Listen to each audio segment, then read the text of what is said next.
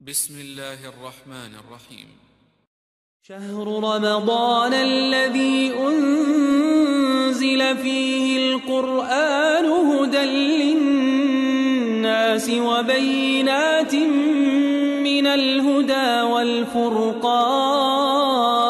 والفرقان السلام عليكم ورحمة الله وبركاته বাংলাদেশ থেকে মানিকুল ইসলাম জানতে চেয়েছেন, ইমাম যদি সলাতের রাকাত সংখ্যা অতিরিক্ত করে, তাহলে কি মুক্তাদিগণ তার ইক্তিদা বা তার অনুসরণ করবে কি না?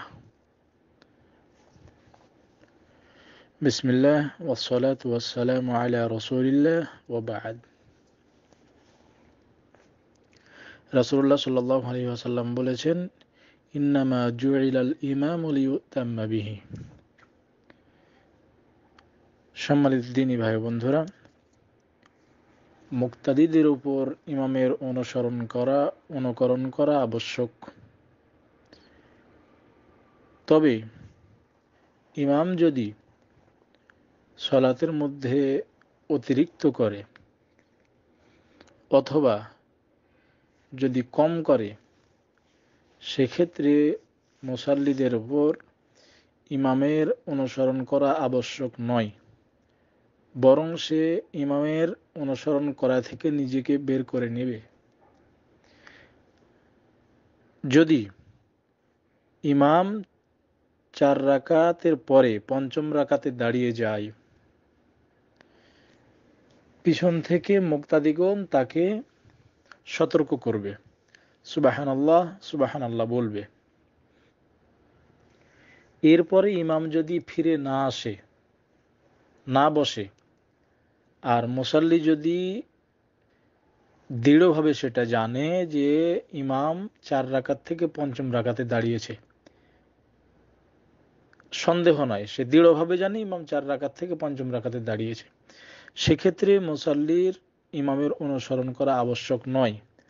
বরং যদি মোসাল্লি ক্ষেত্রে ইমামের অনুসরণ করে জেনে শুনে, তাহলে মোসাল্লির সলাৎ বাতিল হয়ে যাবে। আর যদি মুসল্লি যারা মুক্তাদি রয়েছে, তারা যদি না জেনে, তার সাথে দাঁড়িয়ে যায়, না বুঝে, না জেনে যদি মুক্তাদির ইমামের সাথে দাঁড়িয়ে যায় মুক্তাদিগণ তাহলে সলাৎ সহি হয়ে যাবে। বিনবাজ রহিমাহুল্লাহ, ইবন উসাইমিন রহিমাহুল্লাহ, শেখুল ইসলাম এবং তাইমিয়া রহিমাহুল্লাহ, তারা সকলেই এই কথা বলেছেন। অনুরূপভাবে ইমাম যদি সলাতের মধ্যে কম করে, যদি চার রাকাতের জায়গায় না বসে, তৃতীয় রাকাতে যদি বসে দ্বিতীয় রাকাত পড়া হয়েছে, তৃতীয় রাকাতে উঠেছে। এবার তৃতীয় রাকাত পড়ে ইমাম যদি বসে যায়, চতুর্থ রাকাতে যদি না দাঁড়ায়, তাহলে সেক্ষেত্রেও মুসাল্লিদের জন্য আবশ্যক ইমামকে সতর্ক করবে। যদি ইমাম তাদের কথায় ফিরে না আসে, তাহলে মুক্তাদিগুন তার অনুসরণ বর্জন করবে, ছেড়ে দিয়ে নিজেরা দাঁড়িয়ে চতুর্থ রাকাত পূরণ করে সালাম ফিরাবে। কম করলেও সেক্ষেত্রে এটা হবে। আর ইমামের জন্য করণীয় হচ্ছে, ইমাম যদি সন্দেহ করে যে আমার রাকাত কি কম হলো না বেশি হলো, তাহলে তার জন্য আবশ্যক মোসাল্লিরা তাকে সতর্ক করলে, লোকমা দিলে সে ফিরে আসবে। আর যদি ইমাম তার সিদ্ধান্তের উপর অটল থাকে যে না, আমি যেটা করতেছি এটাই সঠিক, তাহলে সে যেটা সঠিক মনে করছে সেটাই করবে। আর মুক্তাদিরা যদি তাদের কথার উপর সঠিক থাকে, অবিচল থাকে যে না, আমার আমার হিসাবে রাকাত সংখ্যা এটাই সঠিক, ইমাম অতিরিক্ত করছে বা কম করছে। তাহলে সেক্ষেত্রে ইমামের ইক্তেদা তার অনুসরণ অনুকরণ বর্জন করবে। বর্জন করে যদি ইমাম অতিরিক্ত করে, তাহলে অতিরিক্ত থেকে ইমাম মুক্তাদিগণ বেরিয়ে এসে তারা তাসাহুদ পড়বে। এরপর এখানে বিনবাজ রহেমাহুল্লাহ শেখুল ইসলাম ইবন উসাইমিন তারা বলছেন, মুক্তাদি চাইলে ইমামের পঞ্চম রাকাত থেকে পঞ্চম রাকাত শেষ করে তাশাহুদ পর্যন্ত, সালাম ফেরানো পর্যন্ত ইমামের অপেক্ষা করবে।